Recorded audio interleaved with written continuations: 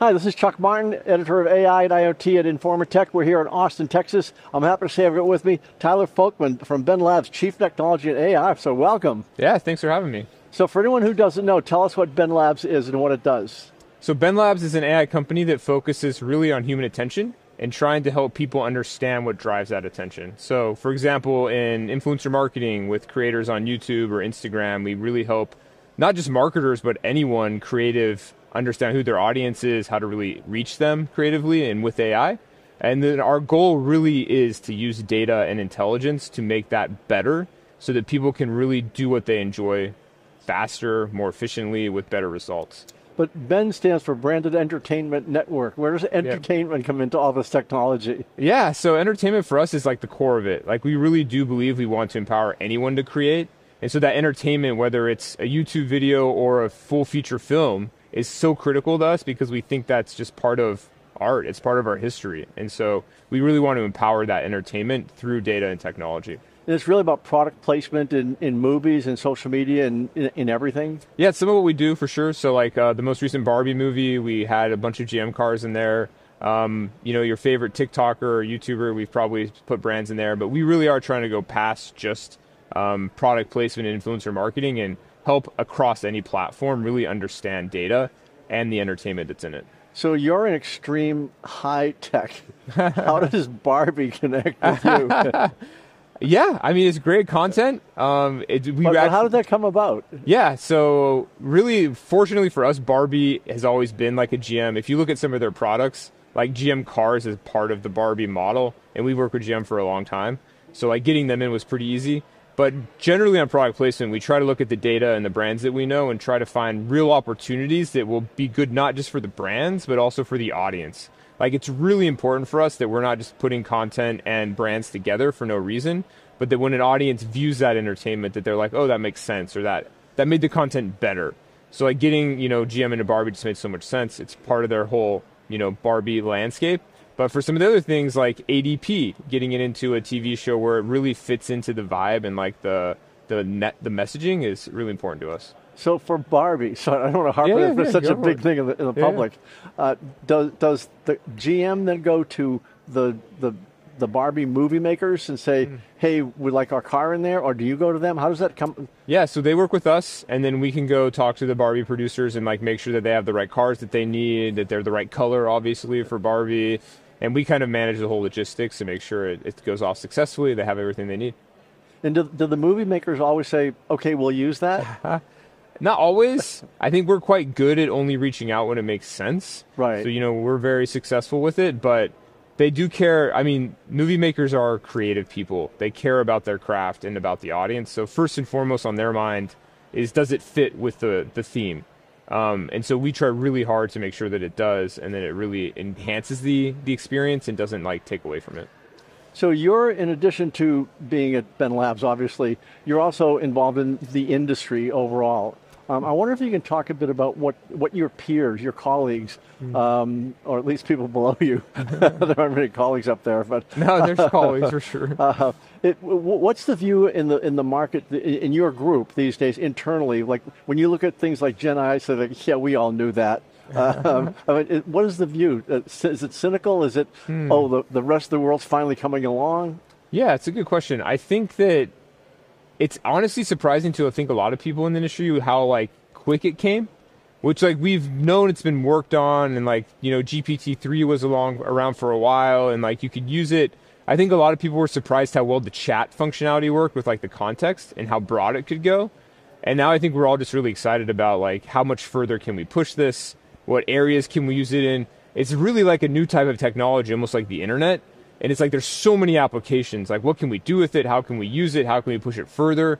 So it really feels like we're at the forefront of like a new age in some ways where we see that this can work and it can be very powerful, but it's just the beginning. So in, in, in your peer group, do you all talk about, hey, should we try this, like like collectively, mm. uh, because you could be in different different industries, different yeah, markets. Totally. Um, is that how it works? Yeah, we're always like, should we try this? Like, even just like you have a crazy idea should we throw it into like a large language model or should we see if it can generate this image or like i think it's a cool place to be in because you can just keep throwing stuff at it see where it works where it doesn't And then those failures can help you figure out like how to make it better, how to build new technology, new products, and make it more special, really. So yeah. So in your in your product placement, which you're obviously us- using AI, looking at the market and the product, do you see a time where uh, ChatGPT typed or GPT-4, GPT-9 Hmm. Yeah. start, starts to uh, basically do a lot of that work for you? Possibly, I think it's still if that ever happens a far way off. I think that it's hard to. It's easy in some ways to undervalue the human component when you, new technology comes out. But I think even with the best of technologies, there's still a real strong human component around like anything, not just product placement, but really anything. Like the human connection isn't going away. So while I do think it will continue to get better at helping us be more efficient and helping us find opportunities and maybe even writing some of the scripts that we're going to use and helping us be more creative, I fundamentally think humans still need that connection.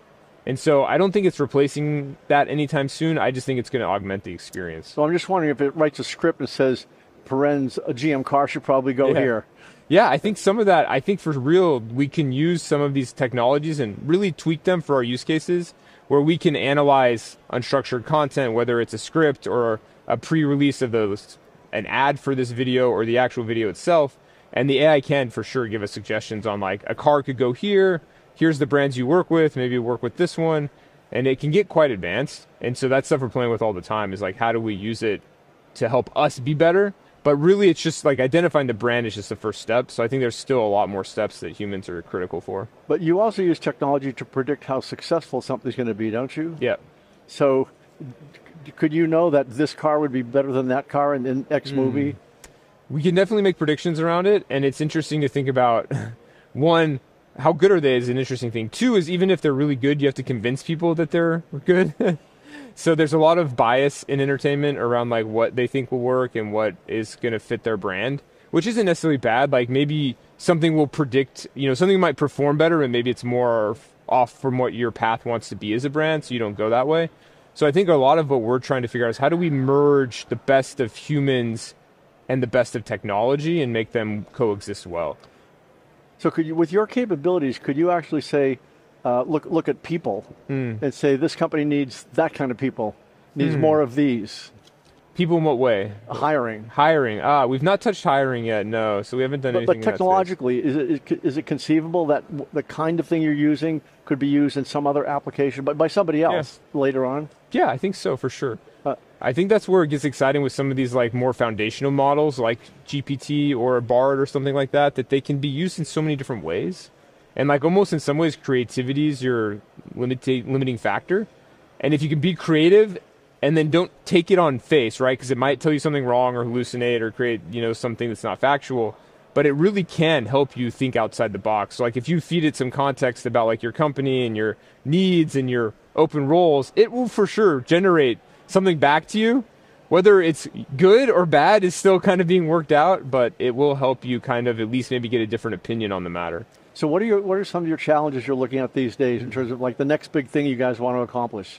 Yeah, for us, we care a lot about video. So one of our big challenges is like, how do we unlock in some ways what ChatGPT did for text, something similar for the video space? So much of what we create in entertainment and content is video. If you're on YouTube, TikTok, even Instagram now, it's all mostly video. How do we really take this technology and take it to the next level to be more foundational across that type of content is really something we're looking at. So a year from now, we're sitting here. what are we going to be talking about? Whew, a year from now, my guess is we'll be talking a lot more about generative images. I think generative video will have come a long way so that people are actually generating videos more from like AI prompts. And my guess is the technology will be much more productized. Right now, we talk a lot about like prompt engineering, and that's more of a symptom of a bad product. Like, if you have to be an expert on how to prompt the product, it's a bad product. But over the next year, these products are going to get a lot better. You're not going to have to be an expert. It's going to be built into your workflow. It's going to be much more common for you to open up a new experience and expect an AI assistant or language or something there for you. And if it's not there, it's going to feel like a sub sub tier product, which we're not there yet. But I bet in the next year it will make a long progress. I look forward to that conversation. Thank you very much. yeah, thanks for having me.